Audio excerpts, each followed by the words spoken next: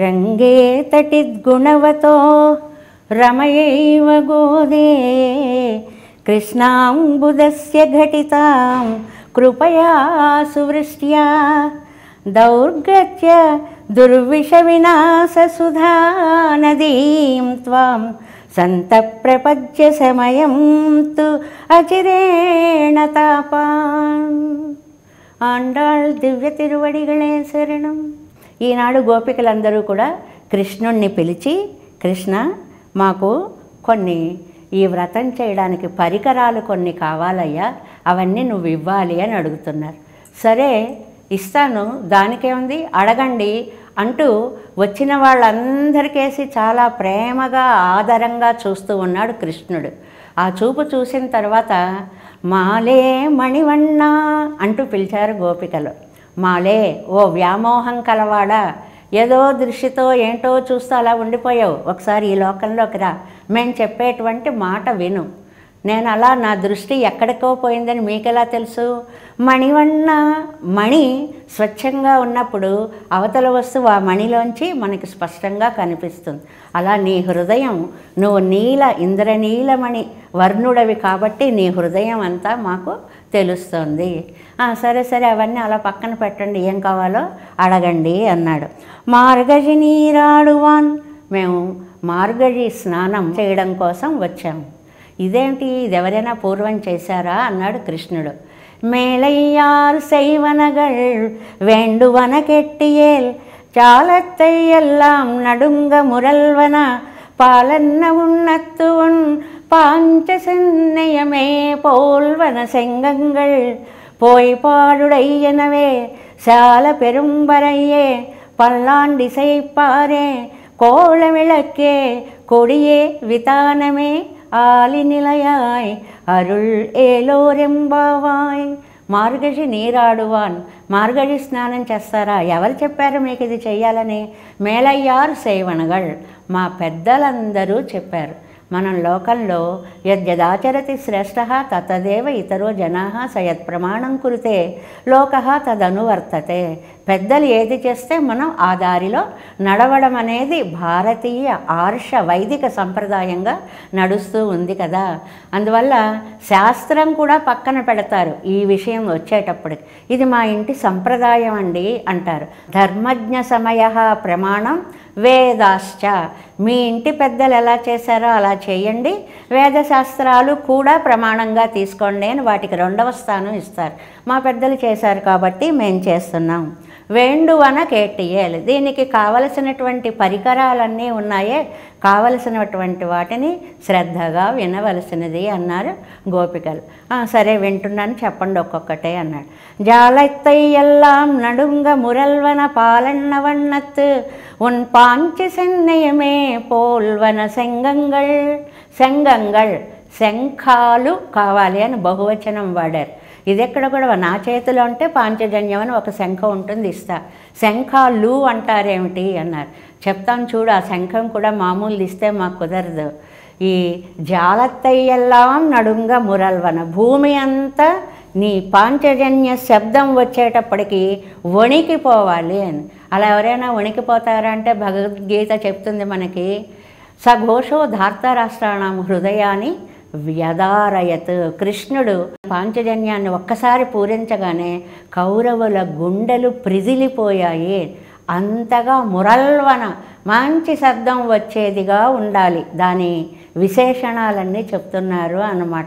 అంతేకాదు పాలన్న వన్నత్తు. పాలు ఎంత తెల్లగా ఉంటాయో శంఖన్ రంగు కూడా అంత తెల్లగా ఉండాలి. ఉన్ పాంచజన్యమే పోలన నీ పాంచజన్యం లాంటి శంగంగల్ శంఖాలు కావాలి.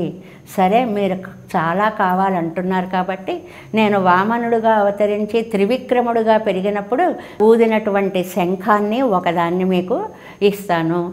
అంతేకాకుండా నా దగ్గర స్వంతం ఒకటి ఉంది అడవులకు వెళ్ళినప్పుడు రెండవ బాలకులారు చల్దికుడు అన్నని అన్నం తినడానికి సమయమైంది. రండి రండి అని పిలిచే శంఖం ఒకటి ఇస్తాను. ఇలాగ తన దగ్గర ఉండేటువంటి శంఖాలు ఇస్తాను అని చెప్పి అన్నాడు ఆయన. సరే ఇంకొకటి ఏమిటి అని. ఉన్ పాంచజన్యమే పోలిన శంగంగళ్ ఈ మూడు శంఖానికి చెప్పారు. తర్వాత పోల్వన శంగంగళ్ పోయి పాడుడయ్యనవే. మంచి లోతు కలిగినటువంటి తప్పెటలు కావాలి అన్నారు. మనం మొదటి నుంచి చెప్పుకుంటున్నాం తప్పెట అంటే రెండు వైపులా తాడు పెట్టి గుండెలకు కట్టుకొని రెండు చేతులతోటి వాయిస్తూ ఇవాళ మనం డప్పు అనేదాన్ని కొంచెం తీసుకోవచ్చు అనమాట అటువంటి వాటిని తప్పెటలు అని అంటారు. అలాంటి తప్పెటలు కావాలి అని. సరే అయితే ఆనాడు జాంబవంతుడు వాయించాడు నా వీర పరాక్రమాన్ని.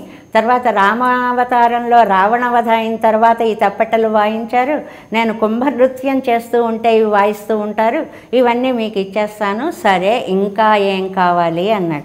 అబ్బాబ్బే అప్పుడే అయిపోయాయని అనుకోకు. పల్లాన్ పారే మేము ఇంత చక్కగా చేస్తున్నామని మంగళం పాడేటువంటి గాయకులు కొంతమంది కావాలి అన్నారు. ఆహా అలాగా? అయితే మీకు పెరియాళ్ళవారని ఒక ఆయన ఉన్నారు పల్లాండు పాడారు ఆయన. నమ్మాళ్ళవారని ఒక ఆయన ఉన్నారు పొలిగా పొలిగా పొలిగా అంటూ పాడారు. అలాంటి వాళ్ళని ఇస్తానులేండి అన్నాడు. చాలా బాగుంది అంటే కోల విళక్కే అన్నారు. మంగళ దీపం ఒకటి కావాలి. దీపం ఎందుకు అంటే అసలు దీప ప్రజ్వలనంతో ఒక కార్యక్రమాన్ని మొదలు పెట్టాలి. దీపం జ్యోతి పరబ్రహ్మ స్వరూపం అని అంటారు కాబట్టి ముందు దీప ప్రజ్వలనం వేస్తుంటాం కదా కార్యక్రమాల్లో కూడా. అది లేకపోతే అసలు ప్రారంభమే కాదు అని. సరే అయితే మా ఇంటి దీపం ఒక ఆవిడుంది. శ్రీరంగ మంగళ దీపరేఖ లక్ష్మీదేవి. ఆవిడ్ని ఇస్తాను మీరు తీసుకెళ్ళండి. లక్ష్మీ స్వరూపమే రుక్మిణీదేవి. ఆవిడ్ని ఇవ్వన? ఆవిడ లక్ష్మిలా తిరుగుతూ ఉంటుంది. గృహిణిని ఇంటి దీపము అంటారు. మా ఇంటి దీపము అని అంటారు. మనకది వ్యవహారంలో ఉన్నటువంటి విషయం కూడాను. కొడియే ధ్వజం కావాలి.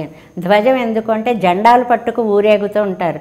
ఏదో ఊరేగింపు అంటే ఎవరో ఏమిటో మనకు తెలియదు. ఆ జెండాను చూడగానే ఓహో వీళ్ళు ఈ గుర్తు కలవాళ్ళు దీనికి సంబంధించిన వాళ్ళు వీళ్ళు వ్రతం చేస్తున్నారు అని ఆ ఇన్ఫర్మేషన్ అంతా మనకు ఆ జెండా ఇస్తుంది కాబట్టి ఆ జెండా కావాలి అన్నారు.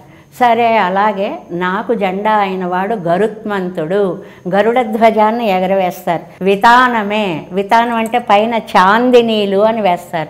మంచు పడకుండా సూర్యుడి వల్ల ఎండ తగలకుండా పైన ఒక ఆచ్ఛాదన ఉండాలి అని. మరి అదేమి ఇవ్వాలా అని ఆలోచించి సరే అనంతుడు నాకు ఆచ్ఛాదన ఆయన్నే ఇచ్చేస్తాను అని చెప్పి చెప్పాడు. ఇంకా చాలా ఆనందించారు గోపికలందరూ కూడా. మళ్ళీ అన్నాడు ఇవన్నీ నేను ఇవ్వగలనా మీకు? నాకు సాధ్యమవుతుందా? అన్నాడు. ఆలి నిలయాయి ఏమిటయ్యా భలే కబుర్లు చెప్తావు. అఘటిత ఘటన సమర్థుడవని పేరు.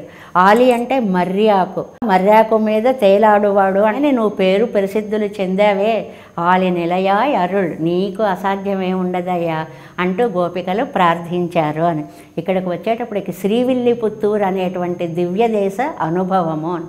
అసలు మన కథా నాయకురాలు గోదాదేవి అవతరించినటువంటి ఊరు శ్రీవిల్లి పుత్తూరు రామానుజ సంబంధంగా కనుక మనం తీసుకోవాలి అంటే ఆలినిలయ్యాయ్ అంటే ఒక వృక్షపు నీడలో అలసినవాడు తన అలసట తీర్చుకున్నట్లుగా పరమాత్మ అనేటువంటి ఆయన నీడలో ఈ జనుల అందరి ఆర్తి కూడా పోతుంది అనేటువంటిది ఒక అర్థంగా చెప్తారు రామానుజుల శ్రీచరణాలే మనకి నీడ అనేటువంటి విశేషాన్ని ఇంకొక దాన్ని చెప్తారు.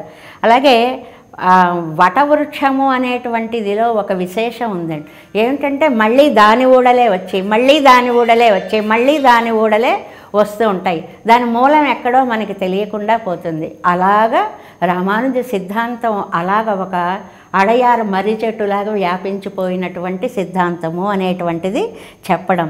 న్యగ్రోదో బహు పాత్ వటహ మర్రి చెట్టుకి అనేక పాదాలున్న చెట్టు అనేటువంటి పేరు ఒకటి ఉంది అని. ఇంకా శంఖం అని తీసుకుంటే ధ్రువుడి యొక్క చరిత్రలో ధ్రువుడిని శంఖంతో అలా బుగ్గకి ఇలా తాకిస్తాడు విష్ణుమూర్తి. అంటే ధ్రువుల్లోంచి అత్యద్భుతమైనటువంటి కవిత స్ఫూర్తి వచ్చి భగవంతుని ఎంతో కీర్తిస్తాడు. అలాంటి శంఖస్పర్శ మాకు కావాలి అని కోరినట్లుగా మనం అర్థం చేసుకోవాలి.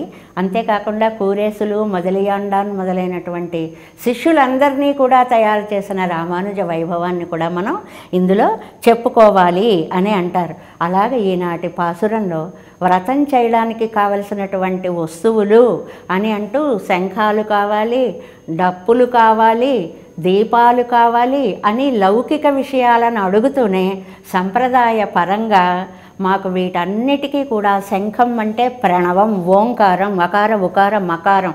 జీవుడు భగవంతుడికే చెందినవాడు. అలాగే మిగిలిన వాటి అన్నిటికీ కూడా విశేషార్థాలు చెప్పుకుంటూ పెడతారు వితానం వెయ్యడము అని అంటే మేము నీకే శేషులము అనేటువంటి ఒక జ్ఞానం మాకు కావాలి. గరుడ ధ్వజము అని అంటే గరుత్మంతుడు వేదానికి ప్రతీక. ఆలయంలోకి వెళ్ళినప్పుడు ధ్వజస్తంభానికి ఎందుకండి దండం పెడతాం? అక్కడ గరుత్మంతుడు వేద స్వరూపంగా ఉన్నాడు అని చాటేటువంటిది ధ్వజస్తంభం. అందువల్ల వేదాన్ని మనం అందరము అంగీకరించాలి.